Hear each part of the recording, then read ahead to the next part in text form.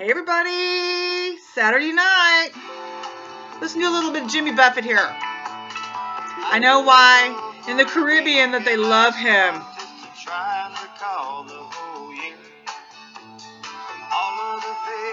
They do that whole little wave thing? No. I'm kidding. Okay, so I was in the Caribbean last year. I was in the Caribbean back in last November. I actually swam with huge, huge sea turtles. And um, it was one of the most, one of the coolest experiences of my life, actually. Only problem was, is we drove out on a, on a big pirate boat, and we were, I think they were drinking these things called painkillers, and just enjoying myself, enjoying myself to the max. I had my feet dangling off the front end of the boat, and we're like going over to this little turtle island kind of a thing, and um, had no idea about the level, the depth of the water and things like that because it was so clear. It was crystal clear, so it looked like three feet deep when it was reality about 40 or 50 feet deep. So we get to this little cove where these turtles are at, and pardon me, and they're like, jump on, jump on out. After the whole way, they've been talking about all these sharks, and that would be a bad thing if a shark came into the cove, and I'm just, I'm just being very quiet on the way out there, listening to this whole thing thinking, yeah, that'd be a really bad thing if a shark came into the cove, especially if you're about to throw my butt out in there. So I, I, they tell us to jump in, pardon me, and I jump out there and I have a panic attack. And I'm like, oh, I can't do this. Like, I just can't do this. The shark can swim up underneath me. That's my imagination going crazy, crazy, crazy. And they're like, acclimate, acclimate. I'm like, no, get me out. and my mom's like, don't do it, Missy, stay out there. So I stayed out there. Ended up being one of the best experiences of my life. I thoroughly enjoyed myself. I got to snorkel, and I had like these these uh, masks, this mask on. And we went up by these coral reefs and stuff, and all these beautifully vibrant fish would swim like this close to your nose across your mask. So I'm snorkeling, right? I have my little pole out of the water. I'm trying to breathe. But every time a fish swims across my mask, I'm like, whoa! because I just couldn't believe the vibrancy and the colors. So, absolutely astounding, absolutely marvelous trip. I'm in the mood, and Jimmy Buffett kind of gives us a lend to the music that was in our scenery back then. So, I've been listening to Jimmy Buffett all day. I totally get why people in the Caribbean listen to Jimmy Buffett because they're laid back. It's like, yeah, yeah, man, yeah, man. It's a good thing. So, the reason I'm coming to you tonight, there is a method, method to my madness. Um, started off with the scripture. And this is a prophetic warning, actually, for people. Let me cut this down so I can really get your attention so I'm not distracted either. Started off the other day when I read this scripture, and it's been I've just been kind of chewing on it because the Lord usually unfolds things in front of me. So the scripture is based on Numbers 5 6, and it says, If any of the people, men or women, betray the Lord by doing wrong to another person, they are guilty. They're guilty. So I thought, hmm, what does that mean, Lord? Why does that stick out to my spirit so much? and many of us have been wronged and have gone through, and I don't want to sound like I'm, uh, I'm not going to make excuses for it. That's what it is. We have been wronged. There have been many things we've each had to walk through to get into the place, into the position that we currently reside in. And so a lot of injustices have occurred, a lot of deep hurts. If this isn't ministering to you, I'm hoping it is, but I'm telling you, this is a right now word. And so God has had us move forward.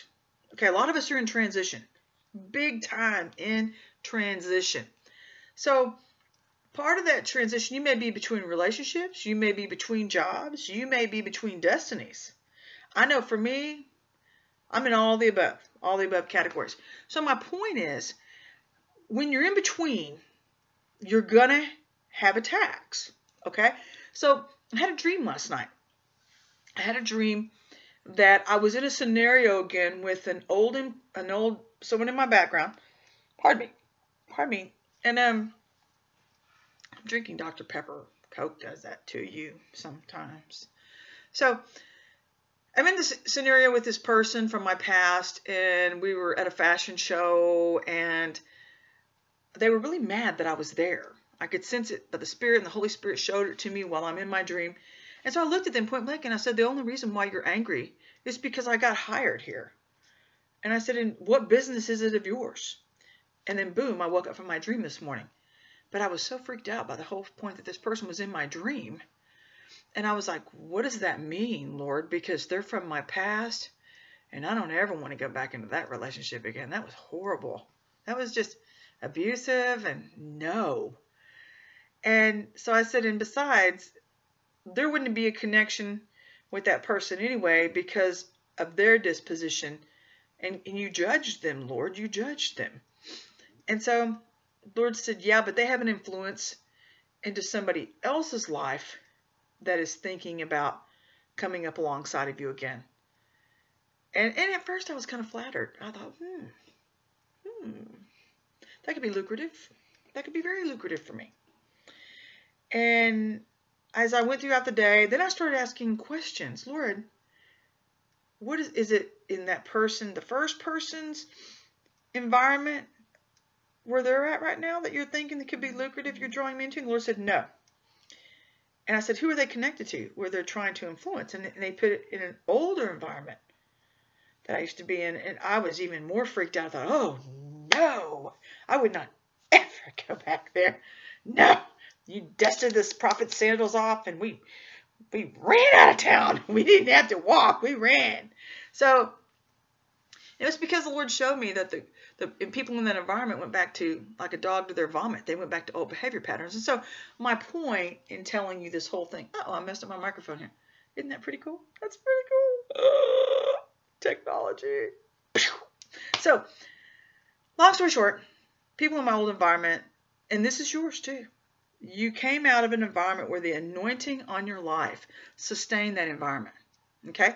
God, you didn't have anything to do with it. You might have been really blessed in that environment, but the anointing is gone now. The grace to be in that environment is gone. So the enemy is coming back at a lot of us right here, right now, with where we're currently at in transition. Pardon me. And he's trying to play on our egos. He's trying to stroke our egos and saying, you did such a great job in that other environment that it's all about you. You did it all. And God's like, no, no, no, no, no, no, no. Had nothing to do with you. Had everything to do with me. So I had to wake up and I had to go through a series of questions with the Lord. And it's like he took me down this stair step thing to the truth to letting me see how the enemy was setting me up. He's setting you up because of you're not knowing what to do next. And this is because people in these old environments that we were in, once the anointing is pulled out of those environments, chaos ensues. Chaos ensues. You know, that, that is just really not going to work real, real quick. We're going to have to fix that. Bear with me. So, anyway, chaos ensues. And so, because chaos ensues, because you're gone now. Your vessel's been pulled out of that environment. To be blessed, by the way, to be blessed, the last thing you want to do, Lot's wife, is look back because you'll disintegrate because of the heat of the chaos in that environment that's coming on that environment. You will disintegrate. You'll crumble. The Lord's words exactly were if you look back, you will crumble, Lot's wife. So, now, the prophetic word of warning right now for each of us is while we're in transition, the last thing we want to do is be drawn in by the enemy because of uh, what do you call it? It's not stimulation. It's it's it's through pride. It's really through pride and thinking, oh, they've missed me now. I can go back because now they realized my worth. I can go back. Lord says, No, I never meant for you to go back. No. I've lifted you up for such a time as this. I've drawn you out of that point A environment and I'm taking you to destiny. I'm taking you into the real blessing. See, the old place was a transitional place too, but it was also a testing place. There's no more grace for you to be there. If you were to go back and get goaded by the enemy to go back into those abusive environments, you would digress. You would be digressing and you would get stuck. That's why you can't go back. You can't go back. This does not pertain to family relationships and things like that. These are relationships outside of your immediate family. Pardon me. But the Lord really, really wants you to know this is the strategy of the enemy for this hour because so many people aren't really sure what their next step is. Lord says, This is your directives for your next step. This prophetic word is your directives for the next step. He said, The footsteps of a righteous man or woman are ordered by the Lord. He said, Have I not provided for you in this place? I have literally provided for you, for many of you, and given you an exorbitant amount of money. That's the truth that just came out of my mouth, by the way. That's the Lord. um, to live on, to live on. Um, more than you ever anticipated, like you've never seen God provide, like you're seeing Him provide in this place.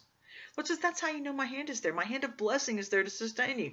I never take you anywhere that I don't sustain you. I never take you anywhere that I don't provide for you, says the Lord. So for you to fall prey to the enemy's tactics, see, he's trying to goad you back into old behavior patterns that I've delivered you up out of. I've taught you about abuse. I've taught you about how to war against abusive spirits. And the Lord says, now I'm testing my work. I'm testing my work to see if you can maintain, to see if you can recognize the ploys of the enemy. And look, I'm even making the test easy. I'm warning you. I'm warning you that this is going on in and around you. So this is an easy no-brainer, guys. This is a no-brainer. Okay? I'm just giving you a heads up tonight. I could not get home fast enough to tell you about this. And I wanted to let you know this is what the Lord's trying to do for each one of us. Doggone, I shut my music off. Here, I'll open it back up again because I want to let you listen to Jimmy Buffett. He's awesome. He's awesome. So, tonight, before you go, and I'm going to have another word probably tomorrow. Maybe, maybe not. My hope is that I do. Um, but I, I've been giving really a lot of, uh, been given a lot of prophetic words. Tonight I was really, really shocked by this one. Actually, it came out of nowhere, and I had to get over here and I had to tell you. Um, if you haven't been joining me, I'm just going to give you a heads up. Um, I have finished my Texas book tour. I told you guys about that. So Memoirs is still progressing, getting geared up for my second book to come out this December. It's going to be starting publishing in June. Don't know the title of it yet it's somewhere in between dealing with obstacles. It's going to maybe have a title of ADHD. Not sure about that yet. Still working on that. But this is my next idea. If you haven't been keeping up with me on Facebook, join me. Follow me on Facebook. I'm on Instagram, um, Twitter. I think it's Missy, lowercase Missy underscore Hood on Twitter. I'm on Facebook at Melissa Hood. I have an author page there. I also have a private page if I invite you onto my private page. Um, I predominantly use that for business purposes too, but um, come out and join me, follow me, man. We're learning, we're growing together, and I'm getting ready to start a new product line of t-shirts. If you see a blog post on my WordPress account that you like and you want to wear, send it to me at casual, no, let me say memoirs of an ADHD mind at austin.rr.com and I'll print it up for you for $26.95. That's a fair price. That covers my cost of the t-shirt and um, time, a little bit of time. So, but anyway, it also, you'll get the branding of Tame Your BrainO on the front. However you want to do it. I can also put it on the back, the, the branding logo in the center, and then put your front blog thing on the front or the back. Your choice. You tell me. Let me know. I'll be glad to do it for you. So $26.95, you can pay, pay through PayPal. Um, also, selling my book for $12.95. You can buy Memoirs of an ADHD Mind at Amazon.com or any Barnes & Noble. You can get it online even. And I even saw it the other day on eBay. It's being sold in France now, in the UK, um, all over the world now. We're going all over the world, baby. I may even be going to Bali in August. It'll be Bali or Australia. And then I'll be in LA for Authors 101 conference in October. So, oh, negative, we're going there. So anyway, I'll hopefully see you guys tomorrow. Hope you have a blessed evening. Thanks for joining me tonight, man, and you be blessed. Know I love you, and I'm praying for you. Bye.